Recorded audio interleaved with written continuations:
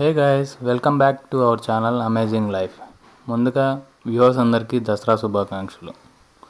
ఈరోజు వచ్చేసి ఒక చిన్న హార్వెస్ట్ అయితే చూద్దాం.